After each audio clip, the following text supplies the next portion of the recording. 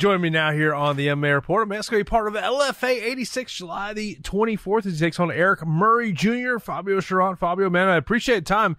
It has certainly been a while since uh, you've been able to, to step inside competition. Uh, how would you describe the last 12 months?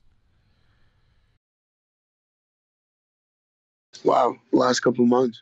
Um, it's been uh, really stressful, you know. Um, the area I live in has been super shut down. There's like, the gyms aren't. The gyms are just now starting to open up. You know, um, so it's it's been it's been crazy. Um, the last like three months, we've me, my teammate, and uh, my boxing coach, we've been like sneaking into the gym at like 4 a.m. to like work out in the morning, and then get home and do nothing. You know, and um, yeah, it's been it's been a stressful stressful couple of months.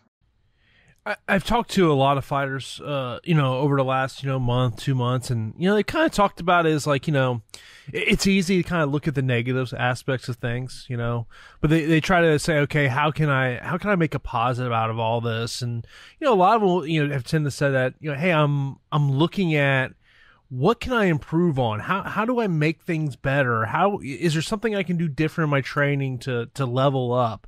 Is that is there has there been something over the past couple months that you've just like it, this this additional time has allowed you to kind of look at yourself in, in terms of, of your fighting abilities and maybe it, it made made you open up your eyes to something else? Um, it's helped me get my strike, uh, my boxing a lot better and um,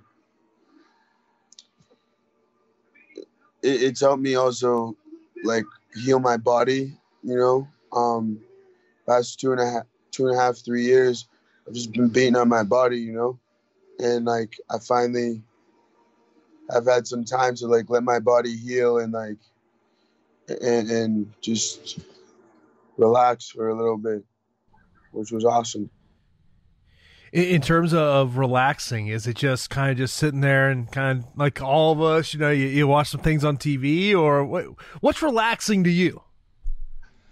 Sitting in my bed watching tv and eating a lot of food. Is, it uh as now obviously you're getting close to that fight is there some food items that you're like oh man i really want that but i can't i can't indulge? Not really you know um I, I like I still eat the same way I uh in in and out of camp. You know what I mean? I, I just don't eat like Chinese food or something. You know, that's probably like that's probably like the worst feed. That's probably the worst food I eat on a daily. You know, is Chinese food. In terms of, of your opponent, uh, Erick here, what, what's kind of your thoughts on, on him as an opponent and the challenges that he's going to offer you? He's cool. Um, yeah, he's cool. Yeah, he stays busy. Yeah. In terms of your thoughts on the fight, what what do you see as your key to victory? He's fucked. Um, I guess I've been I, I've been in the booth, you know, just just grinding, grinding, and, and not knowing when I'm gonna fight again. So this is, this is awesome to me.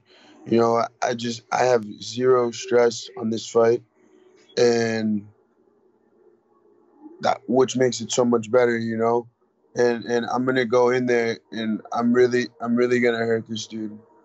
Really gonna hurt him. You mentioned about not having any stress for this one. Is that something you've had to deal with in previous fights? No, no, no. I mean, like stress, like fight stress, like fight, like dealing with fight week problems, dealing with weigh-ins, dealing with all that stuff. Like, like I don't have to worry about the BS. Like, you know, like I'm not thinking, oh man, I'm about to get into a fight with this guy like he's actually good. Like there's a chance I might lose. There's this, there's that, there's that, that, that stress. I'm not not thinking about it, and you know it's not even a, it hasn't even been a thought in my head. You know what I mean? Um, I wa- as soon as I watched him I watched this film. I was just like, all right, we're good. You know, like uh, my coach has seen it, my teammates seen it, and they're just like, yeah, we're good. You know. After not having a fight for a year, is kind of uh, is your hope that uh, you know this is maybe you know one of two to, to three more fights for this year? We'll see what happens, but I'm hoping. Yeah, I'm hoping it's one to two. You know, um, I don't know. I'm ready to prove. I'm ready to prove that where I belong. You know, I'm ready to show people where I belong, and it's just depending on on what happens with with the world right now. You know. Mm-hmm. And of course, everyone's going to see your fight here coming up on July the 24th. LFA 86. Fabio, man, I, I appreciate the time. Of course, uh, let everyone know everything follow you on social media and anything else you want to mention. Not really, man. Um, just follow me on Instagram. Uh, Buffalo MMA 8. Same thing on Twitter.